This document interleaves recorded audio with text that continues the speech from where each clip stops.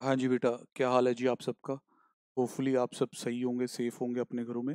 तो मैं एक छोटी-सी वीडियो ला रहा हूँ कैपिटल एसेट के मीनिंग पे, क्योंकि कुछ डाउट्स हैं बच्चों के कैपिटल एसेट में, तो उस चीज़ को क्लियर करने के लिए। लियाओ जी कैपिटल एसेट कैपिटल गेन का एक बहुत इंपॉर्टेंट हिस्सा है, कि जब हम कैपिटल गेन का चैप्टर पढ़ते हैं तो हमें बोला जाता है कि there must be a transfer of capital asset.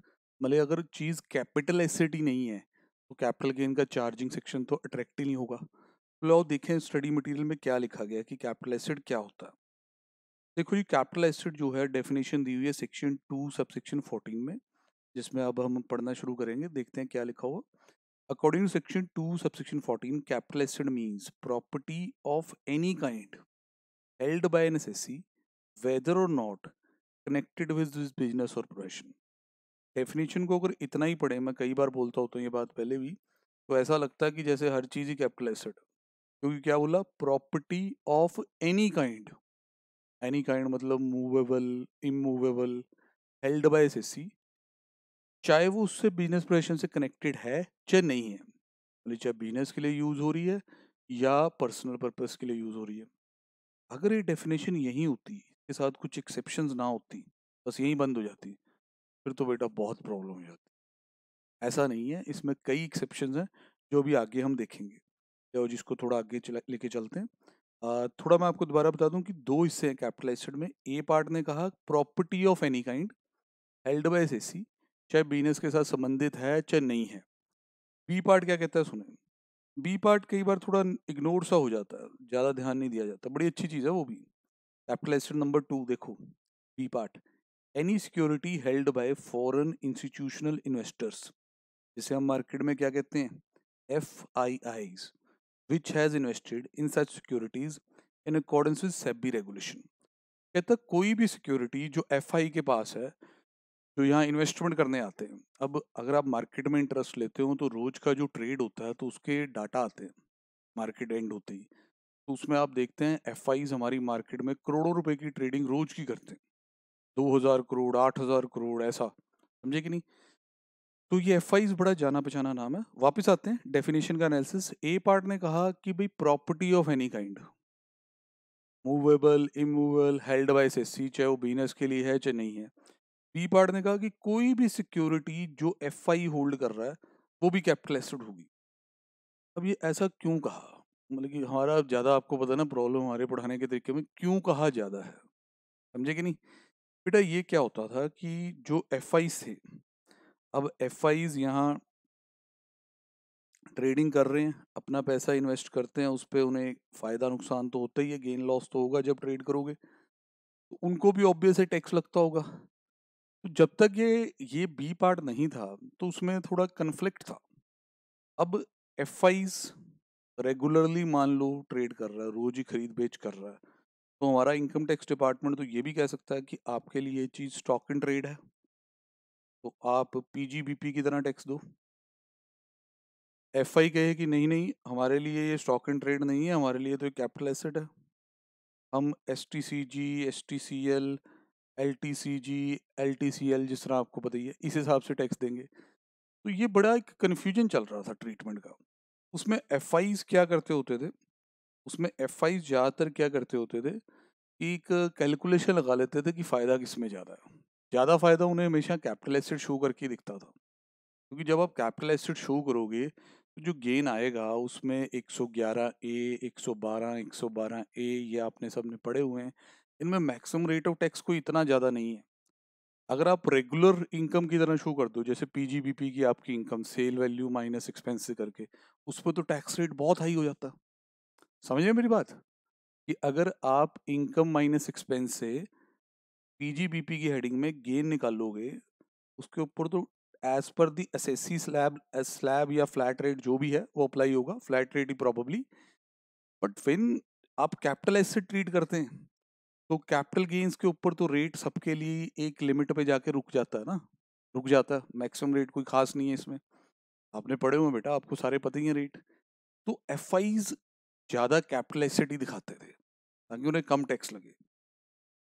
Controversies होती थी, कहा जाता था कि तुम्हारे लिए स्टॉक एंड ट्रेड होना चाहिए, ये सारी कंट्रोवर्सी ख़त्म कर दी गई। जैसे ही बी पार्ट ऐड हो गया डेफिनेशन का तो आपको पता चल गया कि एफ़ के लिए ये स्टॉक एंड ट्रेड नहीं ट्रीट होगी सिक्योरिटीज क्या ट्रीट होंगी? कैपिटल एसेट और वो अपने कैपिटल गेन वाले रूल्स के हिसाब से टैक्स देंगे। अब, अभी तक हमारी बात क्या हुई है कि ए में तो आ गया जी property of any kind of capital asset होता है। बी पार्ट आ गया जी security held by F I capital asset होता है। अब कौन सी चीज़ें कैपिटल एसेट नहीं होती? ये देखें however it does not include however it does not include का मतलब कि कैपिटल एसेट में ये चीज़ें नहीं आएँगी। पहली चीज़ stock and trade any stock and trade other than securities referred in B B वाली कौन सी सिक्योरिटीज हैं कि जो सिक्योरिटीज किसके पास है? एफ़ आईज भाई, अगर एफ़ आई उसे स्टॉक एंड ट्रेड भी दिखा रहा हो ना, ध्यान से सुन लेना बेटा, तब भी हमने क्या मानना है? कैपिटल एसेट अदरवाइज़ कोई भी जो स्टॉक इन ट्रेड आइटम है कंज्यूमेबल्स हैं रॉ मटेरियल हैं, जो हमने बिना प्रोफेशन के लिए रखे हुए हैं, उन्हें हम कैपिटल एसेट नहीं मानेंगे। जैसे ज्वेलर है, उसके पास ऑर्नामेंट्स रेडी हैं और उसने आगे बेचने हैं। तो नेचुरल है, वो स्टॉक एंड ट्रेड है। उस पर वो पीजीबीपी में टैक्स देगा कैपिटल गेन नहीं देगा। समझ रहे कहीं यहीं डेवलपर्स है डेवलपर्स है उसमें लैंड है लैंड बैंक्स हैं, जिसके वो प्लॉट्स कट करके बेच रहा है। अगेन वो पीजीबीपी में टैक्स देगा, यहाँ टैक्स यहाँ कैपिटल गेन नहीं देगा। क्योंकि वो लैंड उसकी क्या है स्टॉक एंड ट्रेड। तो समझ पा रहे मेरे हिसाब से आप सारा। अब ये इसमें इतनी चर्चा जो है फिर इसी पॉइंट पे हुई हुई है देखना अभी दोबारा शुरू हो रही है। कहते हैं exclusion of stock and trade from the definition of capital asset is only in respect of subclause A above, not the subclause B. तो क्लियर करने की कोशिश कर रहा है कहता है जो ए कैटेगरी आइटम्स हैं डेफिनेशन के दो पार्ट हैं प्रॉपर्टी ऑफ़ एनी काइंड दूसरा जी security held by F A category items अगर आपके पास स्टॉक एंड ट्रेड की तरह हैं तो कैपिटल एसेट नहीं है। पर बी कैटेगरी मतलब कि सिक्योरिटी हेल्ड बाय एफ़ हमेशा ही कैपिटल एसेट है। उसमें चाहे वो स्टॉक एंड ट्रेड बोल रहा हो अपने मुँह से, तब भी नहीं मानना। कहता है this implies even if the nature of such security in the hands of FPI या FII is a stock and trade. उसके हाथ में स्टॉक एंड ट्रेड दिख रहा है आपको, फिर भी नहीं मानेंगे। Same would be treated as a capital asset and the profit on transfer would be a capital gain. तो भाई यहाँ इन्होंने फिर बताया हुआ कि 2014 फाइनेंस बिल दो 2014 फाइनेंस बिल दो, इसलिए मोदी वन वहाँ स्टार्ट होता है, आपको पता ही है क्लास में भी हम बात करते हैं इसकी। Clarifies that the income arising from transfer of would be in nature of capital gain, चाहे उनकी इंडिया में प्रेजेंस है या नहीं है respective of the presence or otherwise in India of fund manager ये आपका डाउट है थोड़ा सा तो वो बिल्कुल क्लियर कर दिया गया है कि जो एफ़ थे उसमें एक कन्फ्यूज़न चलती थी पहले they tend to treat it like capital asset whereas department कई बार कहता था स्टॉक एंड ट्रेड है। अब वो कैपिटल एसेट इसलिए कहते थे ताकि कैपिटल गेन का रेट कम होता है रेगुलर बिज़नेस इनकम वाले टैक्स से। तो अब उनकी एक तरह सुनवाई हुई है। कन्फ्यूजन्स कट डाउन हो गई हैं। अननेसेसरी लिटिगेशन नहीं होगा। चलो जी, और आगे बढ़ते हैं। अब कैपिटल एसेट में और क्या क्या नहीं आता। पर्सनल इफेक्ट्स कैपिटल एसेट नहीं होते। पर्सनल इफेक्ट्स मतलब जो आप अपने खुद के लिए चीज़ें यूज़ करते हो कैपिटल एसेट नहीं होती। और ये बहुत लेमैन वाली बात होगी, अगर यहीं रोक दी गई डीप जाना पड़ेगा। Personal effect that is to say movable property ध्यान रखें अब पर्सनल इफ़ेक्ट में पर्सनल इफ़ेक्ट का मतलब तो यही है कि अपने लिए जो चीज़ें हम यूज़ करते हैं, पर किसको पिक किया गया? मूवेबल होनी चाहिए वो चीज़। Including wearing apparel and furniture held for the personal use by assessee या any of the member of his family जो उस पर डिपेंडेंट है। अब जैसे आपके घर पे सामान पड़ा, आपके सामने चीज़ें आने शुरू होगी कि भाई सोफ़ा सेट लगा, ड्राइंग रूम, टीवी लगा हुआ, म्यूज़िक प्लेयर लगा हुआ, डाइनिंग टेबल पड़ा। ये सब हमारा घर का सामान है, हमारे कपड़े हैं, और चीज़ें लैपटॉप है, मोबाइल फ़ोन है, कैलकुलेटर है, समझे कि नहीं? तो ये सब आप अपने लिए यूज़ कर रहे हो या आपके फैमिली मेंबर यूज़ कर रहे हैं? ये तो पर्सनल इफ़ेक्ट बन जाएँगे, क्योंकि ये हम पर्सनल यूज़ के लिए इन चीज़ों को होल्ड भी कर रहे हैं और ये चीज़ें मूवेबल भी हैं जितनी भी मैंने बोली।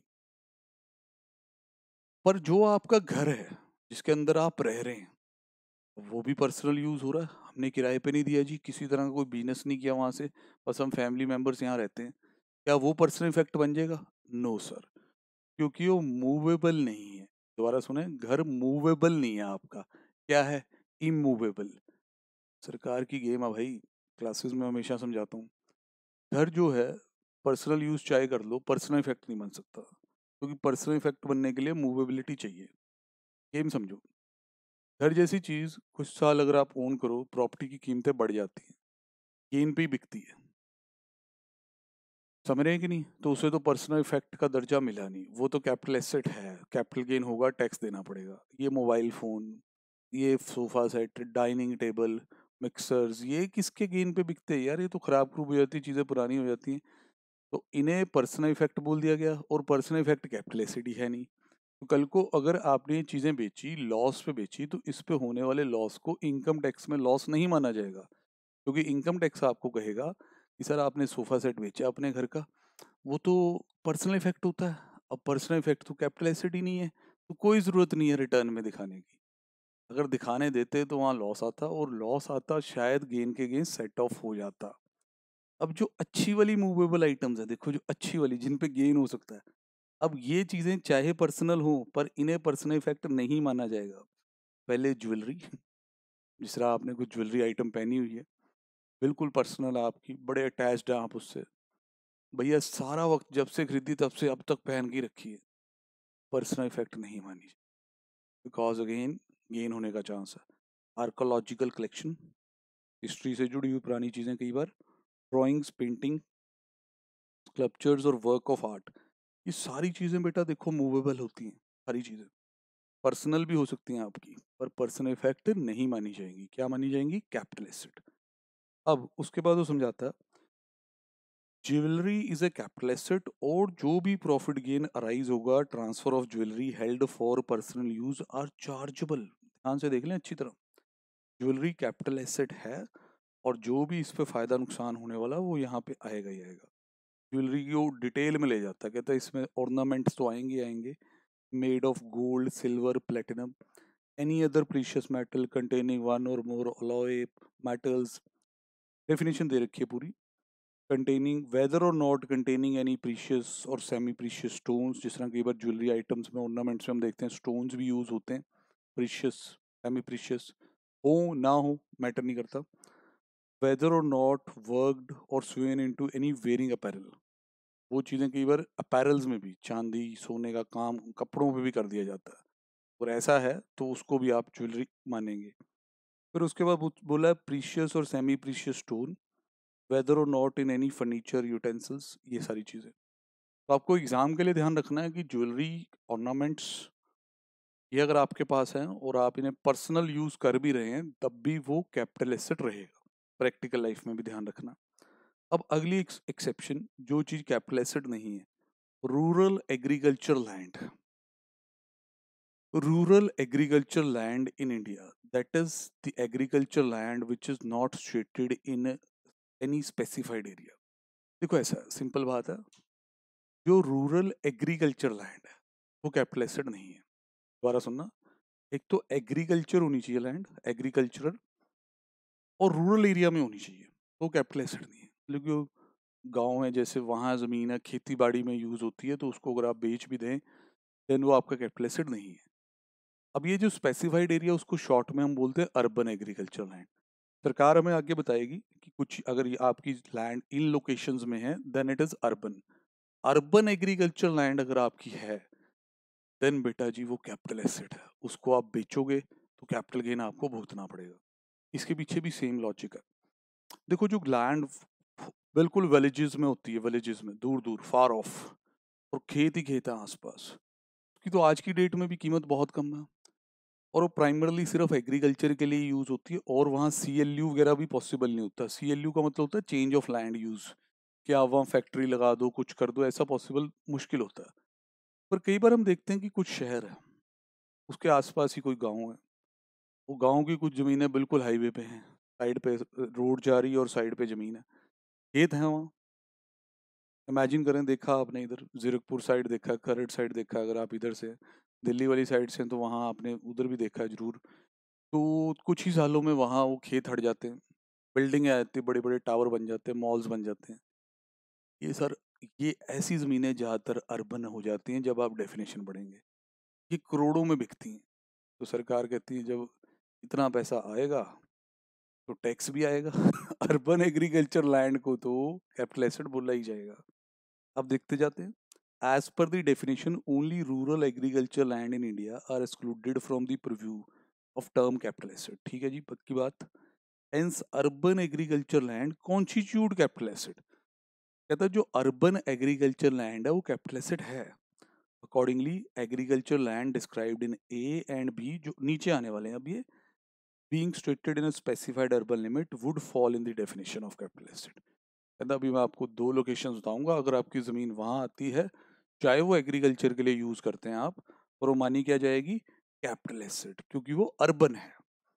पहली ज़मीन agriculture land situated in any area within the jurisdiction of a municipality cantonment board having a population of not less than ten thousand very easy और इसको भी आप इजीली इमेजिन कर सकते हैं। मैं बताता हूँ, जैसे हाईवे पे ट्रेवल कर रहे हो एक क्या था फलाना municipality welcomes you municipality of फलाना शहर वेलकम्स यू थोड़ा और चलते हैं, फिर उसके आते हैं थैंक्स फॉर द विज़िट बंदा कहता मैं तो गाड़ी भी नहीं रोकी।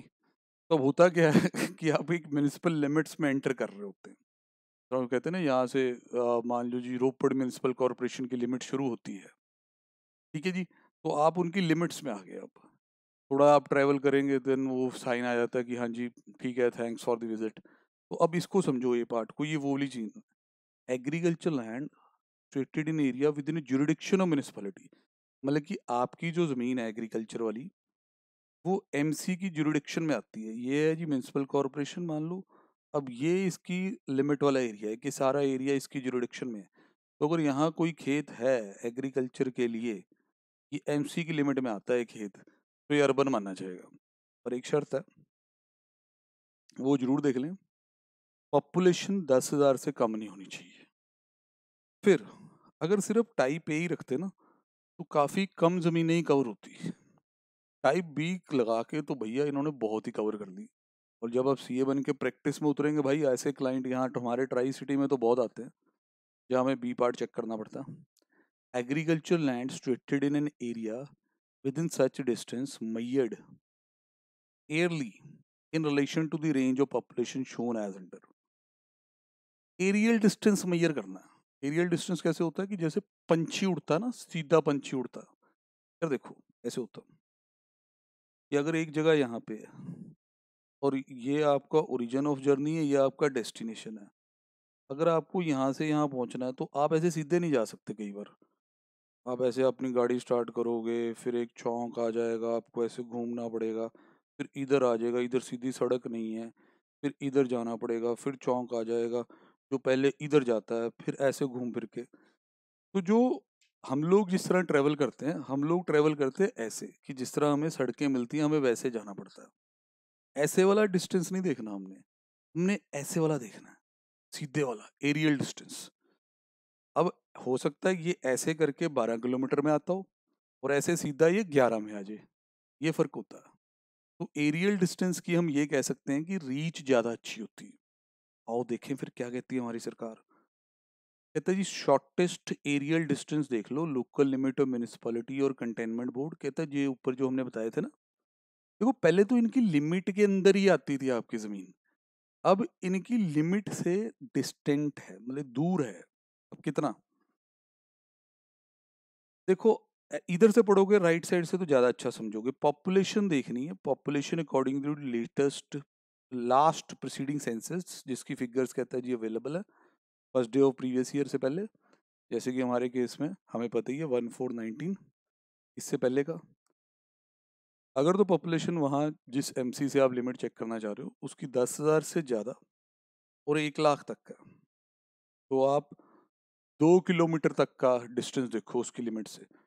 दोबारा देखें shortest aerial distance from the local limit of MC अब एमसी की लिमिट ख़त्म जहाँ हो रही है ना, वहाँ से दो किलोमीटर के अंदर भी अगर आपकी ज़मीन आती है तो वो अर्बन मानी जाएगी। पॉपुलेशन कितनी? दस हज़ार से ज़्यादा। और लेस देन इक्वल टू कितनी? One lakh greater than ten और अप टू वन ये हो गया। अब अगर बड़ी एमसी है, जिसकी पॉपुलेशन एक लाख से ज़्यादा है और दस लाख तक है। तो भैया छः किलोमीटर तक फंस गए हम। छः किलोमीटर के अंदर अंदर अगर हमारी ज़मीन आ गई तो वो अर्बन हो गई। और अगर बहुत बड़ी है, दस लाख से ज़्यादा की पॉपुलेशन वाली। तो बेटा आप आठ किलोमीटर के अंदर भी अगर आती है आपकी ज़मीन एरियल डिस्टेंस से तो वो अर्बन हो गई। चाहे वो एग्रीकल्चर की ज़मीन थी, आपको उसके बेचने पे हिसाब तक करना पड़ेगा। सीए साहब से सलाह लेके बेचें, वो ही बताएँगे कि कैसे मैनेज किया जाए। फिर इंस्टीट्यूट ने कुछ छोटे छोटे एग्ज़ाम्पल यहाँ दिए हुए हैं। जैसे इन्होंने लिखा जी shortest aerial distance from the local limit one kilometre population according to the last census nine thousand ये तो वैसे ही खत्म। बेटा नाइन थाउज़ेंड वाले पे तो क्या करोगे? टेन थाउज़ेंड से ज़्यादा चाहिए। नो नॉट अ कैपिटलिस्ट तो उसने पूछा था is this land situated is the land situated in this area capital asset answer is no second is one point five population बारह हज़ार। देखो, ऐसे याद रखना होता है, दस हज़ार से ऊपर गेम शुरू होती है दस हज़ार से ज़्यादा और एक लाख तक डिस्टेंस दो। फिर एक लाख से ज़्यादा और दस लाख तक डिस्टेंस छः दस लाख से ज़्यादा फिर सर आठ किलोमीटर। अब आप किस रेंज में आ रहे हैं सर? सर, हमारे पास बारह हज़ार की पॉपुलेशन है, दो किलोमीटर तक तो लगेगा। ये तो डेढ़ किलोमीटर ही दूर है। येस हो गया जी। इसी तरीके से ये सारा आपने करना है। नीचे कुछ और क्लैरिफिकेशन भी दी है वो पढ़ानी बहुत ज़रूरी है। Explanation regarding gain arising on transfer of urban agri Explanation 1 to section 21a clarify capital gain arising on a transfer of any agriculture land situated in any non-rural area. Non-rural मतलब urban urban area will not constitute a agriculture revenue. हम्म तो ये explanation क्या clarify कर रही है sir ये to one ए वाली explanation है वो जो एग्रीकल्चर इनकम के साथ हम पढ़ते थे तो ये क्लियर किया जा रहा है कि भैया, अगर आपने नॉन एग्रीकल्चर लैंड को बेच दिया, उस पर कैपिटल गेन राइज हुआ, वो एग्रीकल्चर रेवेन्यू नहीं माना जाएगा। मतलब कि इधर से बात नहीं बनी तो उधर से बनाने की कोशिश ना कर लेना, ये कह के कि चलो जी एग्रीकल्चर लैंड ही थी चार पैसे आगे एग्रीकल्चर इनकम ही बना लो। नहीं भाई, नहीं, फिर इतनी मेहनत एरियल डिस्टेंस ये वो सरकार तो देखती रहेगी, तुम तो बेवकूफ़ बना रहे हो सरकार को। मतलब बिल्कुल भी एग्रीकल्चर इनकम नहीं माना जाएगा। दोबारा पढ़ें। In other words capital gain arising from transfer of such urban agriculture land would not be treated as agriculture income for the purpose of exemption ten one जिस तरह आपको पता कि बड़ा प्राइमरी सेक्शन है एग्जाम्शंस का, पहला ही सेक्शन जो एग्रीकल्चर इनकम को एग्ज़ाम करता है। जब हम डिटेल में पढ़ते हैं तो एक एग्जाम्शन नहीं है, बल्कि क्लैरिफिकेशन ही है। उसके पीछे एक रीज़न है जो मैं क्लासेस में हमेशा बताता हूँ। वो क्लियर कर रहा है भाई वो। कि ये वो एग्रीकल्चर इनकम नहीं है कि तू टेन वन में जाके एग्ज़ाम करा ले और इस पर तो तुझे टैक्स देना ही पड़ेगा। Such gain would be eligible to tax. Spelling थोड़े इधर उधर हो गए, खैर अंग्रेज़ी है, माफ़ करो, कोई बात नहीं। अब उसके बाद सर बात टॉपिक में वापस लाना बहुत ज़रूरी होता है बच्चे को। बात ये चल रही थी कि कौन सी चीज़ें कैपिटल एसेट नहीं है स्टॉक एंड ट्रेड नहीं है पर्सनल इफ़ेक्ट नहीं है। देन जो रूरल लैंड है एग्रीकल्चर वाली रूरल लैंड है, वो नहीं है कैपिटल एसेट अब कुछ और चीज़ें भी हैं जो नहीं है कैपिटल एसेट जैसे कहते हैं स्पेसिफाइड गोल्ड बॉन्ड ये थोड़ी पुरानी सीरीज़ है इनकी, ये भी कैपिटल एसेट नहीं होते special bearer bond gold deposit bond issued under gold deposit scheme 99 ये लास्ट वाला ज़रूर याद रखना कि स्कीम मोदी जी लेके आए थे जरा तो इस पे सवाल आ सकता है और deposit certificate issued under gold monetisation scheme notified by central government 2015 वाली ये भी जो है वो आपके कैपिटल एसेट्स नहीं है। फिर उसके बाद वो थोड़ा समझा रहा है कि प्रॉपर्टी वर्ड पे थोड़ा बात हो जाए, property include and shall be deemed to include any rights in relation to Indian company, including the rights of the management और कंट्रोल। ये वो वोडाफोन वाले केस के कारण हुआ था, जहाँ वो कह मैंने सेक्शन नाइन में बात की थी कि भाई जैसे आपको राइट मिल गए मैनेजमेंट और कंट्रोल के तो वो चीज़ भी हम कैपिटल एसेट मानेंगे। तो प्रॉपर्टी का वो सारा हिसाब किताब यहाँ बताया गया देन उसके बाद इन्होंने इसको बड़े अच्छे फ्लो चार्ट में भी दे रखा बाकी जी कुछ इसके साथ ना कुछ केस स्टडीज़ भी हैं, एक आधी कैपिटल एसेट के साथ, मैं क्या वो भी आपके सामने रख ही दें। कभी इतना वैसे सी एग्ज़ाम में देखा नहीं, बट आने को आ सकता होता जैसे भाई ये बात होती है बर्तनों की पहले तो। जैसे सिल्वर यूटेंसिल कहते हैं जी कैपिटल एसेट है कि नहीं, बच्चे पूछते हैं, समझाएँ, है कि नहीं? सर, कई केस लॉज हैं, इस पर आप चेक कर सकते हो। ये वाला काफ़ी पॉपुलर है सी ए फाइनल में भी आप पढ़ोगे। इसमें क्या हुआ assessee sold silver utensils, which were in the form of thali, katori, tumblers assessee stated की said utensil were for personal use. अब इसमें जो बंदा था, उसने कुछ चांदी के बर्तन आपको दिख रहे हैं, दिखाई दे रहे हैं कि क्या क्या था, बेचे हैं, और इनकम टैक्स वाले लगता है, उसके पीछे पड़ गए कि भाई आपको टैक्स देना होगा।